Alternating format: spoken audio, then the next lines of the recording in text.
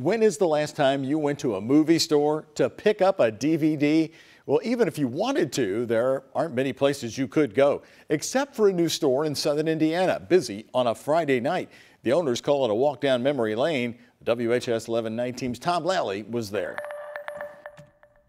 If you could make a living selling memories. You walk in and you feel like a kid again. That are just as tangible today as they were 20 years ago. Having something there is better than not, you know what I mean? Then why not? Quit your job and make a change. This is the change. A new shop for old memories, started in 2015 by corporate dropout Glenn Wilson. I don't consider myself working now. It, this is my hobby, this is my passion. Now there's a second shop and a second dropout.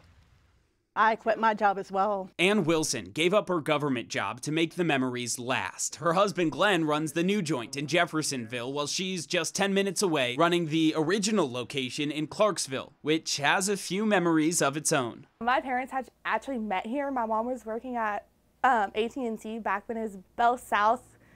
Um, so my dad had came in and got a phone. That's how they met.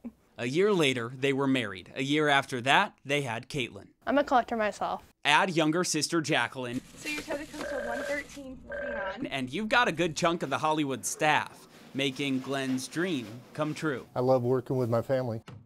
The family has been so successful, selling the shapes and forms of nostalgia from DVDs to games to action figures, that they've already got plans to open a third location. We'll see where Hollywood goes. We've been blessed so far, so hopefully we'll see how far we grow. In the meantime, they've got shelves to fill in Jeffersonville. Tom Lally, WHAS 11 News. You have a good day.